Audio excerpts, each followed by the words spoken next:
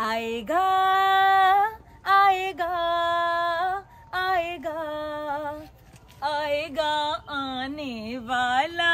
बेटे आ गया आ गया।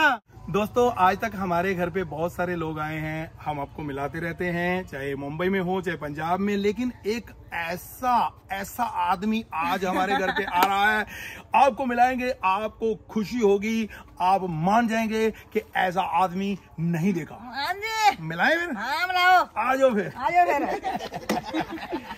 ये देखिए इस बॉक्स में वो आदमी बंद है। क्या बात है। आदमी आदमी कह रहे हो आदमी कैसे? बेटे ये क्या है? ये माइक है। माइक कौन सा है? न्यू मैन का। न्यू मैन तो मैन क्या होता है? आदमी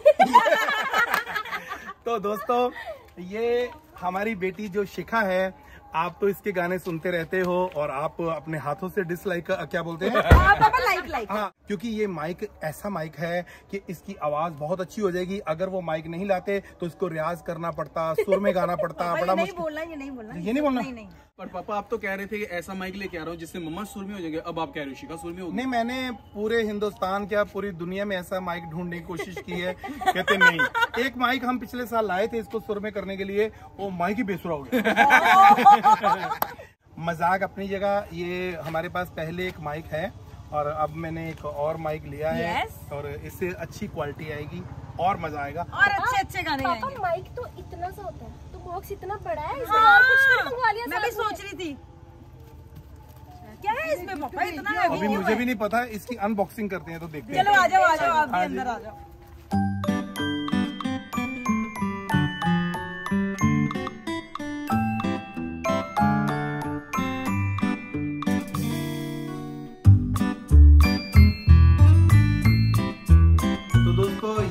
माइक जो हम लेके आए हैं इसका नाम है new man one zero three इसके बारे में क्या बोलना है क्या नहीं मुझे तो आता नहीं। ये साक्षी बताएगी क्योंकि मेरी कोई भी चीज़ होती है उसके बारे में जितना साक्षी बता सकती है कोई नहीं जैसे इसके बारे में भी यही बता सकती है।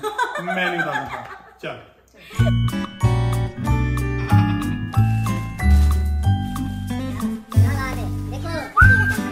आपको बताऊँ ये एक ऐसी चीज़ है जिसको शौक होता है ना उसी को खुशी होती है जिनके होम स्टूडियो हैं पापा आपका कहने का मतलब है कि हमें खुशी नहीं हुई? नहीं आपके घर पे होम स्टूडियो है इसलिए खुशी है ना?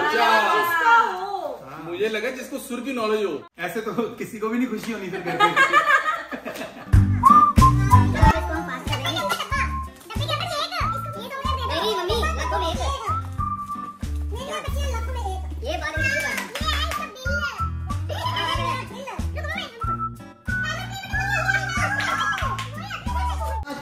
ऐसा बक्सा देखकर मुझे पुरानी फ़िल्मों के विलन याद आ रहे हैं। सारा शहर मुझे लॉइन के नाम से जानता है। पापा ये बॉक्स हम कोई भी ले सकता बाद में? अरे और क्या? आप मैंने क्या करना है? मैं तो माइक लगाना है हाँ, वाह, जल्दी मान गए यार। जब कैमरा चल रहा हो ना बेटे कुछ भी मानते जो और ले लो सब आपका बंद होने दे फिर बताता हूँ तेरे को मैं। तब मैंने अपना कैमरा ऑन कर लेना।